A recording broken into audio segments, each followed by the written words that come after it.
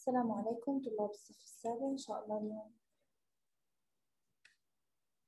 سوف نبدأ بحل تمارين درس العلاقات التناسبية. من كتاب الطالب صفحة 21 واحد واثنين كان معنا واجب للتأكد إنه واحد بتطلع علاقة تناسب واثنين لا توجد علاقة تناسب. الآن رقم ثلاث. سوف أقوم بإيجاد معدل الوحدة لكل من النسب. فرح أحكي. اثنين تقسيم نص. اثنين على واحد تقسيم واحد على اثنين. الكسر الأول بينزل زي ما هو القسمة يتحول إلى ضرب ونص تقلب إلى اثنين على واحد فاثنين ضرب اثنين أربعة. ثمانية تقسيم اثنين أربعة واثناش تقسيم ثلاث أربعة. إذا نلاحظ هنا كون معدلات الوحدة متساوية إذا توجد علاقة تناسب. أربعة اثنين ونص الطول اثنين متر. إذا كان الطول ثلاثة متر الثمن ثلاثة ونص وأربعة متر الثمن أربعة ونص. الآن نقوم بعملية إيجاد معدل الوحدة. اثنين على واحد تقسيم اثنين صحيح خمسة من عشرة يعني خمسة على عشرة. بنحولها إلى كسر غير فعلي. اثنين على واحد بتنزل القسمة بتنزل. اثنين في عشرة عشرين زائد خمسة خمسة وعشرين على عشرة. اثنين على واحد قسمة بتصير ضرب وبقلب هذا الكسر يصبح عشرة على خمسة وعشرين. اثنين في عشرة عشرين واحد في خمسة وعشرين خمسة وعشرين. في عندي عامل مشترك بين البسط والمقام الخمسة إذا عشرين على خمسة أربعة خمسة وعشرين على خمسة. الآن ثلاث تقسيم ثلاث ونص بنفس الطريقة. ثلاث قسم تحول إلى ضرب. هون ثلاث في عشرة ثلاثين زائد خمسة خمسة وثلاثين. عشرة. أقلبها تصير عشرة على خمسة وثلاثين وتساوي ثلاثين على خمسة وثلاثين. نقسم على العامل المشترك في الجواب ستة على سبعة. كون معدلات الوحدة غير متساوية إذا لا توجد علاقة تماثل أحدد أي التمثيلات البيانية الآتية تمثل علاقة تناسب وأبرر إجابتي. نلاحظ هنا أن الرسمة هي خط مستقيم لكنها لا تمر بنقطة الأصل إذا لا تمثل تناسبا. هاي أيضا نلاحظ أنها خط مستقيم لكنها لا تمر بنقطة الأصل. لاحظوا لا تمر بنقطة الأصل. إذا لا تمثل علاقة تناسب. هنا نلاحظ أنه مستقيم وأيضا يمر بنقطة الأصل. إذا نعم صحيح يشكل تناسبا. وهنا بغض النظر عن أن هذا المنحنى يمر بنقطة الأصل لكنه لا يشكل خط مستقيم لذا هنا لا توجد علاقة تناسب.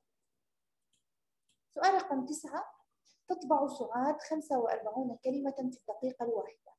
هل توجد علاقة تناسب بين عدد الكلمات التي تطبعها سعاد والزمن؟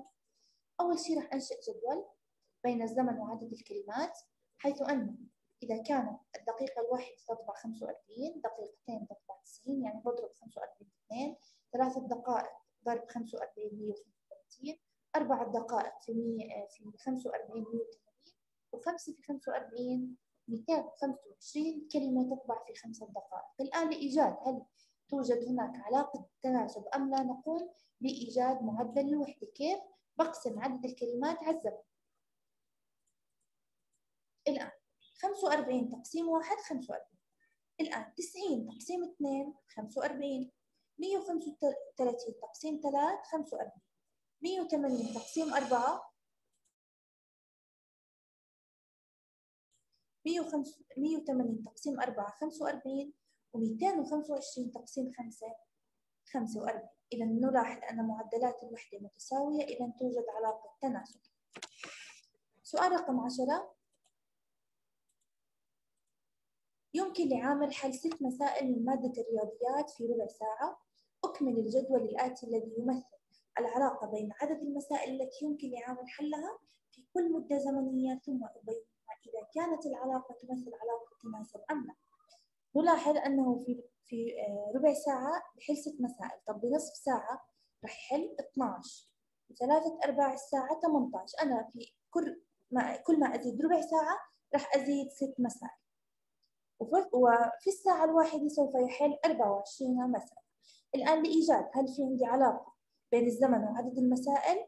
نقوم بإيجاد معدل الوحدة اللي هو أقسم 6 على ربع 12 على نص وهكذا. 6 تقسيم ربع ستة مقامها واحد بتنزل زي ما هي القسمة تحول إلى ضرب واحد على أربعة راح تصير أربعة على واحد. الآن ستة ضرب أربعة أربعة وعشرين. الآن 12 تقسيم نص. بنفس الطريقة 12 ضرب 2 وتساوي 24 18 تقسيم 3 على 4 18 على 1 القسمة بتصير ضرب وبقلب هذا الكسر يصبح 4 على 3 في عندي اختصار بين 18 على 3 6 و3 على 3 1 6 ضرب 4 24 وآخر شيء عندي 24 تقسيم 1 24 إذا نلاحظ أن معدلات الوحدة بين الزمن وعدد المسائل متساوية. إذا توجد هناك علاقة تناسب يبين الجدولان الآتيان المسافات التي قطعتها سيارتان. أي السيارتين تمثل العلاقة بين المسافة التي قطعتها والزمن؟ علاقة تناسب طبعا السيارة الأولى نوجد معدل الوحدة 140 على 2 70 210 على 3 70 طبعا كيف إحنا بإمكاننا نقسم؟ نحكي 14 على 2 7 والصفر هذا بينزل. 21 على 3 7 والصفر بينزل. وهكذا. الآن 350 على 75 و420 على 76 نلاحظ تساوي معدلات الوحدة إذا توجد هناك علاقة تناسب. أما بالنسبة إلى السيارة الثانية فبحكي 60 على 61 135 على 3 45 إذا لا توجد علاقة تناسب بالنسبة للسيارة الثانية.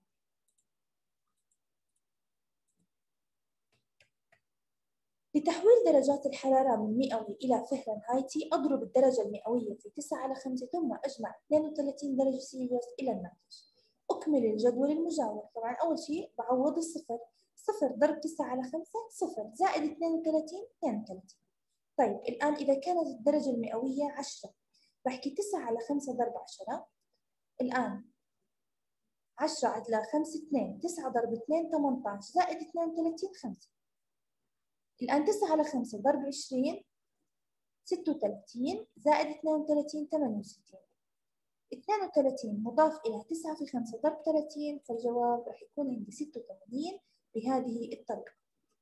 الآن هل توجد علاقة تناسب بين درجات الحرارة المئوية والدرجات الفهرنهايتية؟ نقوم بقسمة 0 على 32 صفر 10 على 50 1 على 5 نلاحظ عدم تساوي معدلات الوحدة من أول آه، معدلين للوحدة. إذا ما في داعي أكمل إذا لا توجد علاقة تناسب.